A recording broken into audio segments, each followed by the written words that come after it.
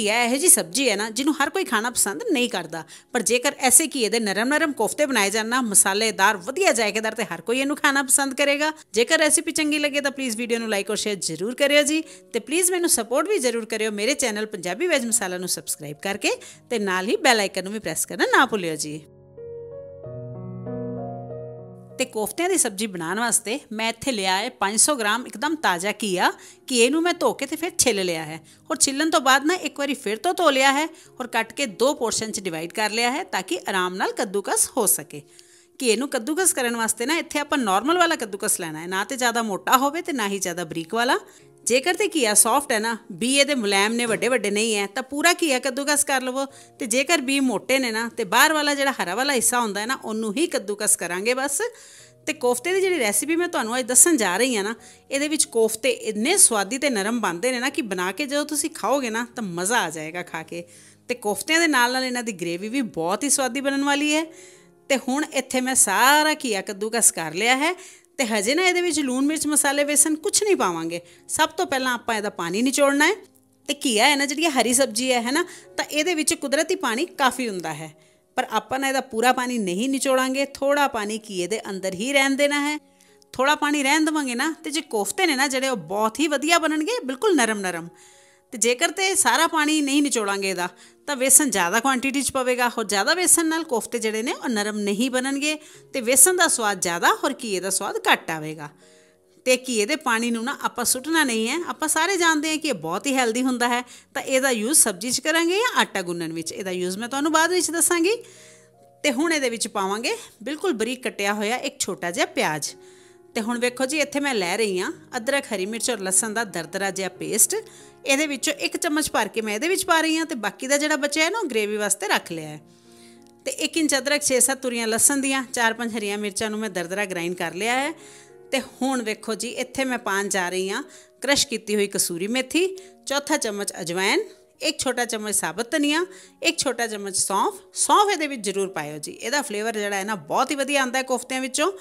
ਤੇ ਨਾਲ ਹੀ ਪਾਵਾਂਗੇ ਅੱਧਾ ਛੋਟਾ ਚਮਚ ਹਲਦੀ, ਅੱਧਾ ਛੋਟਾ ਚਮਚ ਲਾਲ ਮਿਰਚਾਂ, ਚੌਥਾ ਕੁ ਚਮਚ ਗਰਮ ਮਸਾਲਾ ਤੇ ਅੱਧਾ ਛੋਟਾ ਚਮਚ ਧਨੀਆ ਪਾਊਡਰ, ਯਾਨੀ ਕਿ ਪੀਸਿਆ ਹੋਇਆ ਧਨੀਆ।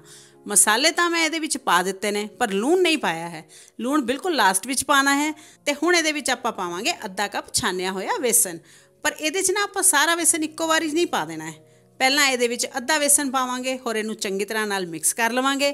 ਹੋਰ ਨਾ ਮਿਕਸ ਕਰਨ ਦੇ ਨਾਲ ਨਾਲ ਹੀ ਇਸ ਮਿਕਸਚਰ ਨੂੰ ਹੱਥ 'ਚ ਲੈ ਕੇ ਜੋੜ ਕੇ ਵੇਖ ਵੀ ਲੈਣਾ ਹੈ ਕਿ ਇਹ ਜੁੜਦਾ ਪਿਆ ਜਾਂ ਨਹੀਂ। ਤੇ ਜੇਕਰ ਨਹੀਂ ਜੁੜਦਾ ਪਿਆ ਨਾ, ਤੇ ਇਹਦਾ ਮਤਲਬ ਹੈ ਕਿ ਇਹਦੇ ਵਿੱਚ ਵੇਸਣ ਦੀ ਹੋਰ ਲੋੜ ਹੈ। ਤੇ ਇੱਥੇ ਵੇਖੋ ਜੀ, ਮੈਨੂੰ ਨਾ ਇਹ ਮਿਕਸਚਰ ਥੋੜਾ ਜਿਹਾ ਢਿੱਲਾ ਜਿਹਾ ਲੱਗਦਾ ਪਿਆ ਹੈ। ਇਹ ਚੰਗੀ ਤਰ੍ਹਾਂ ਜੁੜਦਾ ਨਹੀਂ ਪਿਆ ਹੈ। ਤੇ ਹੁਣ ਮੈਂ ਇਹਦੇ ਵਿੱਚ ਬਾਕੀ ਦਾ ਬਚਿਆ ਹੋਇਆ ਵੇਸਣ ਵੀ ਪਾ ਰਹੀ ਹਾਂ। ਯਾਨੀ ਕਿ ਪੂਰਾ ਅੱਧਾ ਕੱਪ ਵੇਸਣ ਮੈਂ ਇਹਦੇ ਵਿੱਚ ਪਾ ਦਿੱਤਾ ਹੈ। ਤੇ ਬਾਕੀ ਦਾ ਵੇਸਣ ਮਿਕਸ ਕਰਨ ਤੋਂ ਬਾਅਦ ਹੁਣ ਮੈਂ ਤੁਹਾਨੂੰ ਵਿਖਾਣੀ ਹੈ ਕਿ ਇਹ ਚੰਗੀ ਤਰ੍ਹਾਂ ਜੁੜਨ ਲੱਗ ਪਿਆ ਹੈ। ਮਤਲਬ ਕਿ ਇਹਦੇ ਵਿੱਚ ਵਧੀਆ ਬਾਈਂਡਿੰਗ ਆ ਗਈ ਹੈ।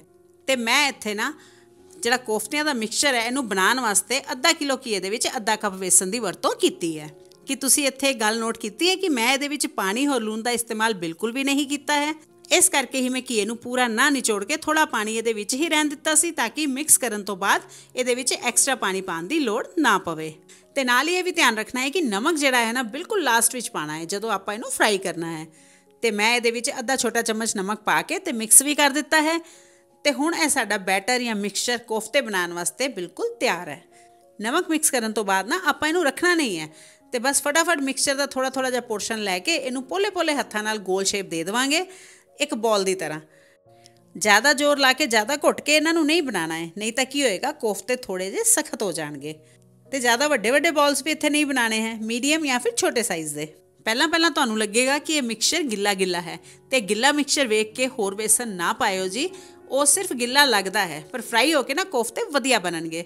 ਤੇ ਸਾਰੇ ਮਿਕਸਚਰ ਦੇ ਬਾਲ ਬਣਾ ਕੇ ਮੈਂ ਇੱਥੇ ਤਿਆਰ ਕਰ ਲਏ ਨੇ ਤੇ ਹੁਣ ਆਪਾਂ ਇਹਨਾਂ ਨੂੰ ਫਰਾਈ ਕਰਨਾ ਹੈ। ਤੇ ਫਰਾਈ ਕਰਨ ਵਾਸਤੇ ਨਾ ਮੈਂ ਇੱਥੇ ਤੇਲ ਨੂੰ ਕੜਾਈ 'ਚ ਪਾ ਕੇ ਗਰਮ ਹੋਣ ਵਾਸਤੇ ਗੈਸ ਤੇ ਰੱਖਿਆ ਹੋਇਆ ਹੈ ਤੇ ਤੇਲ ਮੀਡੀਅਮ ਗਰਮ ਹੋ ਚੁੱਕਿਆ ਹੈ। ਤੇ ਇਸ ਮੀਡੀਅਮ ਗਰਮ ਤੇਲ ਵਿੱਚ ਹੀ ਆਪਾਂ ਇੱਕ ਇੱਕ ਕਰਕੇ ਬਾਲਸ ਪਾਉਂਦੇ ਜਾਵਾਂਗੇ। ਬਹੁਤ ਹੀ ਧਿਆਨ ਨਾਲ ਆਪਾਂ ਰੱਖਾਂਗੇ ਤਾਂ ਕਿ ਗਰਮ ਤੇਲ ਹੱਥ ਤੇ ਨਾ ਪਵੇ।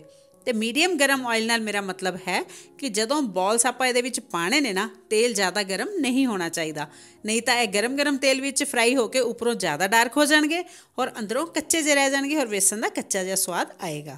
ਵੇਸਣ ਦਾ ਕੱਚਾ ਸਵਾਦ ਨਾ ਆਏ, ਇਸ ਕਰਕੇ ਆਪਾਂ ਇਹਨਾਂ ਨੂੰ ਮੀਡੀਅਮ ਗਰਮ ਤੇਲ ਤੇ ਮੀਡੀਅਮ ਫਲੇਮ ਤੇ ਹੀ ਫਰਾਈ ਕਰਨਾ ਹੈ ਬੜੇ ਆਰਾਮ ਨਾਲ। ਔਰ ਹਾਂ, ਇੱਕ ਗੱਲ ਹੋਰ ਕਿ ਤੇਲ ਚ ਪਾਉਣ ਤੋਂ ਬਾਅਦ ਨਾ ਇਹਨਾਂ ਨੂੰ ਇੱਕਦਮ ਨਹੀਂ ਪਲਟਣਾ ਹੈ ਆਪਾਂ। ਨਹੀਂ ਤਾਂ ਟੁੱਟ ਜਾਣਗੇ ਟੁੱਟ ਜਾਣਗੇ ਤਾਂ ਇਹਨਾਂ 'ਚ ਤੇਲ ਭਰ ਜਾਏਗਾ। ਤੇ ਜਦੋਂ ਇੱਕ ਸਾਈਡ ਤੋਂ ਫਰਾਈ ਹੋ ਕੇ ਥੋੜੇ ਜਿਹਾ ਸੈੱਟ ਹੋ ਜਾਣਗੇ ਨਾ, ਉਦੋਂ ਇਹਨਾਂ ਦੀ ਸਾਈਡ ਬਦਲ ਦਵਾਂਗੇ। ਔਰ ਇਸੇ ਤਰ੍ਹਾਂ ਹੀ ਉਲਟਦੇ ਪੁਲਟਦੇ ਹੋਏ ਇਹਨਾਂ ਨੂੰ ਵਧੀਆ ਜੇ 골ਡਨ ਬ੍ਰਾਊਨ ਕਲਰ ਆਉਣ ਤੱਕ ਆਪਾਂ ਫਰਾਈ ਕਰ ਲਵਾਂਗੇ। ਉਲਟ ਪੁਲਟ ਕਰਦੇ ਹੋਏ ਜਦੋਂ ਇਹ ਚੰਗੀ ਤਰ੍ਹਾਂ ਸਿੱਕ ਜਾਣ, ਪੱਕ ਜਾਣ, ਵਧੀਆ ਜੇ 골ਡਨ ਬ੍ਰਾਊਨ ਕਲਰ 'ਚ ਆ ਜਾਣ, ਤਾਂ ਇਹਨਾਂ ਨੂੰ ਤੇਲ 'ਚੋਂ ਕੱਢ ਲਵਾਂਗੇ। ਬਹੁਤ ਹੀ ਵਧੀਆ ਪੱਕ ਗਏ ਨੇ। ਔਰ ਰੰਗਤ ਵੀ ਵੇਖੋ ਜੀ, ਆਈ ਹੈ ਨਾ ਇੱਕਦਮ ਪਰਫੈਕਟ ਬਹੁਤ ਹੀ ਵਧੀਆ। ਤੇ ਹੁਣ ਬਾਕੀ ਦੇ ਬਚੇ ਹੋਏ ਮਿਕਸਚਰ ਦੇ ਕੋਫਤੇ ਵੀ ਮੀਡੀਅਮ ਗਰਮ ਤੇਲ ਵਿੱਚ ਮੀਡੀਅਮ ਫਲੇਮ ਤੇ ਫਰਾਈ ਕਰ ਲਵਾਂਗੇ। ਔਰ ਫਰਾਈ ਹੋਣ ਤੋਂ ਬਾਅਦ ਦੂਸਰਾ ਪਰਾਗਾ ਵੀ ਤੇਲ ਚੋਂ ਕੱਢ ਲਿਆ ਹੈ ਮੈਂ ਇੱਥੇ ਦੇਖੋ। ਤੇ ਫਰਾਈ ਹੋ ਕੇ ਨਾ ਇੱਕਦਮ ਪਰਫੈਕਟ ਕਲਰ ਆਇਆ ਹੈ ਕੋਫਤਿਆਂ ਦਾ। ਔਰ ਇਹ ਪੱਕੇ ਵੀ ਬਹੁਤ ਹੀ ਵਧੀਆ ਨੇ। ਉੱਪਰੋਂ ਤੇ ਇਹ ਥੋੜੇ ਜਿਹੇ ਕ੍ਰਿਸਪੀ ਨੇ ਔਰ ਅੰਦਰੋਂ ਇੱਕਦਮ ਨਰਮ ਨਰਮ ਨੇ। ਤੇ ਹੁਣ ਆਪਾਂ ਇਹਨਾਂ ਦੀ ਬਣਾਵਾਂਗੇ ਸਬਜੀ। ਤੇ ਸਬਜੀ ਬਣਾਉਣ ਵਾਸਤੇ ਨਾ ਇੱਥੇ ਲਵਾਂਗੇ ਇੱਕ ਕੜਾਈ ਤੇ ਕੜਾਈ ਦੇ ਵਿੱਚ ਪਾਵਾਂਗੇ 3 ਤੋਂ 4 ਵੱਡੇ ਚਮਚ ਤੇਲ। ਤੇਲ ਮੈਂ ਇੱਥੇ ਉਹੀ ਲਿਆ ਹੈ ਜਿਹਦੇ ਵਿੱਚ ਆਪਾਂ ਕੋਫਤੇ ਫਰਾਈ ਕੀਤੇ ਨੇ ਨਾ, ਉਹੀ ਵਾਲਾ। ਤੇਲ ਪਹਿਲਾਂ ਤੋਂ ਹੀ ਗਰਮ ਹੈ, ਫਿਰ ਵੀ ਥੋੜਾ ਜਿਹਾ ਹੋਰ ਗਰਮ ਕਰ ਲਵਾਂਗੇ।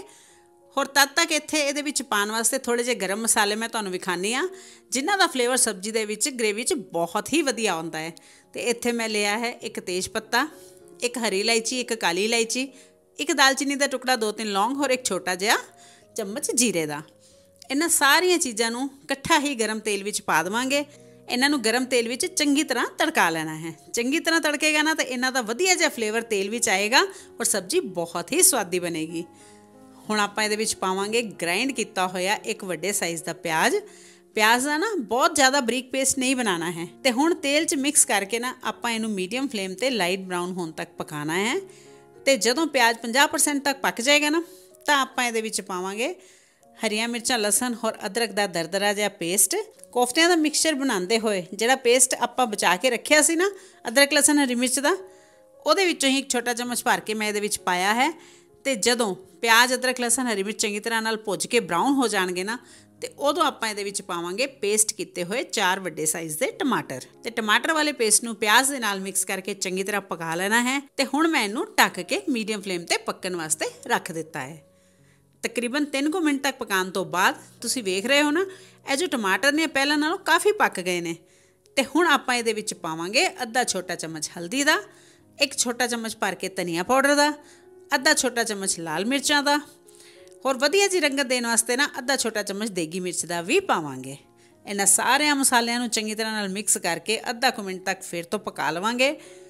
ਹੋਰ ਫਿਰ ਅੱਧਾ ਕੁ ਮਿੰਟ ਤੱਕ ਪੱਕਣ ਤੋਂ ਬਾਅਦ ਤੁਸੀਂ ਵੇਖ ਸਕਦੇ ਹੋ ਕਿ ਮਸਾਲਾ ਚੰਗੀ ਤਰ੍ਹਾਂ ਨਾਲ ਪੱਕ ਗਿਆ ਹੈ। ਤੇ ਪਹਿਲੇ ਨਾਲੋਂ ਗਾੜਾ ਵੀ ਹੋ ਗਿਆ ਹੈ ਤੇ ਇਹਦੇ ਵਿੱਚੋਂ ਤੇਲ ਵੀ ਵੱਖਰਾ ਹੋਣ ਲੱਗ ਪਿਆ ਹੈ। ਯਾਨੀ ਕਿ ਸਬਜ਼ੀ ਵਾਸਤੇ ਸਾਡਾ ਮਸਾਲਾ ਜਾਂ ਤੜਕਾ ਪੂਰੀ ਤਰ੍ਹਾਂ ਤਿਆਰ ਹੈ। ਤੇ ਹੁਣ ਆਪਾਂ ਇਹਦੇ ਵਿੱਚ ਪਾਵਾਂਗੇ 2 ਵੱਡੇ ਚਮਚ ਭਰ ਕੇ ਫੈਟਿਆ ਹੋਇਆ ਤਾਜ਼ਾ ਦਹੀਂ।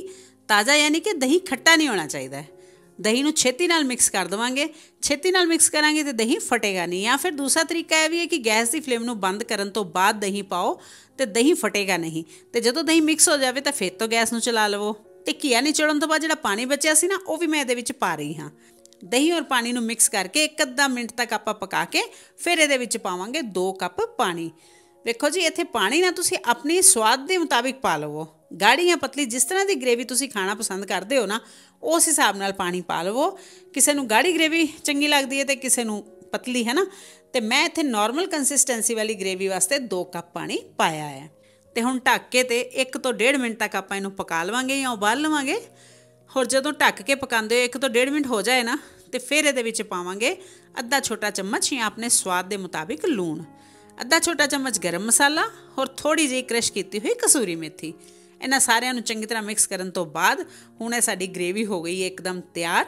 ਤੇ ਹੁਣ ਇਸ ਸਟੇਜ ਤੇ ਇਸ ਵਧੀਆ ਜੀ ਪੱਕੀ ਹੋਈ ਗ੍ਰੇਵੀ ਦੇ ਵਿੱਚ ਪਾਵਾਂਗੇ ਨਰਮ ਨਰਮ ਕੋਫਤੇ।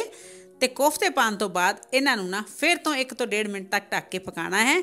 ਇਹਦੇ ਨਾਲ ਗ੍ਰੇਵੀ ਸਾਰੇ ਕੋਫਤਿਆਂ 'ਚ ਚੰਗੀ ਤਰ੍ਹਾਂ ਰਸ ਮਿਸ ਜਾਏਗੀ ਔਰ ਕੋਫਤੇ ਹੋਰ ਸੌਫਟ ਹੋ ਜਾਣਗੇ। ਤੇ ਬਸ 1.5 ਮਿੰਟ ਤੱਕ ਪਕਾਉਣ ਤੋਂ ਬਾਅਦ ਹੁਣ ਵੇਖੋ ਜੀ, ਇਹਦੀ ਕੰਸਿਸਟੈਂਸੀ ਇੱਕਦਮ ਪਰਫੈਕਟ ਹੈ। ਹੈ ਨਾ? ਵਧੀਆ ਗ੍ਰੇਵੀ ਬਣ ਗਈ। ਤੇ ਹੁਣ ਗੈਸ ਦੀ ਫਲੇਮ ਨੂੰ ਆਫ ਕਰ ਦਵਾਂਗੇ ਤੇ ਇਹਦੇ ਵਿੱਚ ਪਾਵਾਂਗੇ ਕੱਟਿਆ ਹੋਇਆ ਹਰਾ ਧਨੀਆ। ਤੇ ਹੁਣ ਇਹ ਮਜ਼ੇਦਾਰ, ਸ਼ਾਨਦਾਰ ਨਰਮ ਨਰਮ ਕੀ ਇਹਦੇ ਕੋਫਤਿਆਂ ਵਾਲੀ ਵਧੀਆ ਜੀ ਗ੍ਰੇਵੀ ਵਾਲੀ ਸਬਜ਼ੀ ਹੋ ਗਈ ਹੈ ਤਿਆਰ। ਨਰਮ ਨਰਮ ਕੋਫਤਿਆਂ ਵਾਲੀ ਗਰਮ ਗਰਮ ਸਬਜ਼ੀ ਨੂੰ ਪੂੜੀ, ਪਰਾਂਠੇ, ਫੁਲਕਿਆਂ ਨਾਲ ਜਾਂ ਚਾਲਾਂ ਨਾਲ ਸਰਵ ਕਰੋ ਜੀ। ਬਹੁਤ ਹੀ ਸਵਾਦੀ ਲੱਗਦੀ ਹੈ। ਤੇ ਵੀਡੀਓ ਦੇਖਣ ਦਾ ਤੁਹਾਡਾ ਸਾਰਿਆਂ ਦਾ ਬਹੁਤ-ਬਹੁਤ ਧੰਨਵਾਦ ਜੀ। ਛੇਤੀ ਹੀ ਮਿਲਦੇ ਹਾਂ ਇੱਕ ਹੋਰ ਨਵੀਂ ਰੈਸਿਪੀ ਦੇ ਨਾਲ। ਸਤਿ ਸ਼੍ਰੀ ਅਕਾਲ।